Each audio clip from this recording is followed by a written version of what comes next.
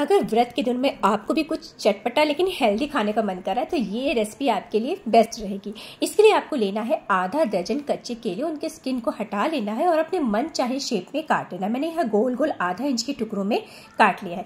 काटने के बाद इसको तुरंत आपको पानी में डालना है, वरना केले बहुत जल्दी काले पड़ जाते हैं। तो उसके बाद आप क्या करना है? एक कढ़ाई लेना है, गर्म करना है कढ़ाई को, उसमें डालना है दो छोटे चम्मच यहाँ पे देसी घी और साथ में आधा छोटा चम्मच यहाँ पे डालना है पीनट ऑयल आप चाहे तो सिर्फ़ जो है घी या सिर्फ़ ऑयल में बना सकते हो। तो पीनट ऑयल व्रत में खाया जाता है।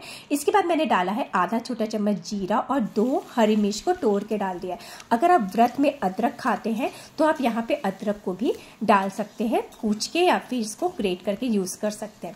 अब यहाँ पे मैंने जो है, इनको डाल के हाई फ्लेम पे दो मिनट फ्राई फ्राई किया है।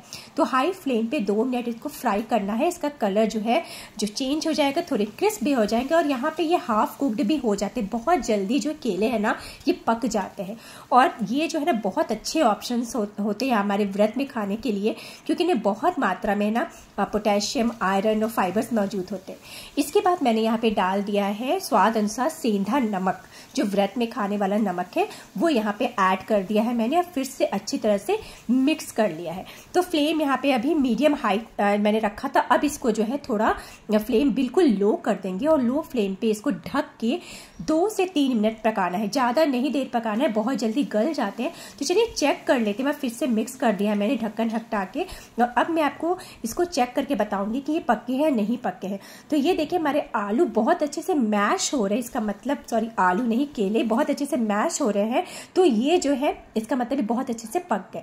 तो आप इसको ऐसे यहीं भी खा सकते हैं, लेकिन यहाँ पे मैं इनको चटपटा बनाने के थोड़ा सा आधा चम्मच मैंने भुना जीरा पाउडर और वन फोर्थ जो है चम्मच हाफ़ टी स्पून जो है, वो मैंने डाल दिया यहाँ पे काली मिर्च पाउडर।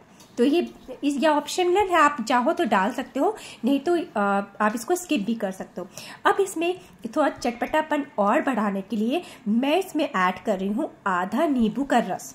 तो नींबू का रस जो है, आधा ऐड करना है। आप चाहो तो नींबू के रस को आप कम क्वांटिटी में भी ऐड कर सकते हो या स्किप भी कर सकते हो यहाँ पे। तो ये बहुत ही चटपटा बन के तैयार होता है। आपका मूड फ्रेश हो जाएगा इसको खा के। तो अगर पसंद आया हो तो चैनल को सब्सक्राइब कीजिए। अगर नहीं किया है, लाइक और शेयर और कमेंट करें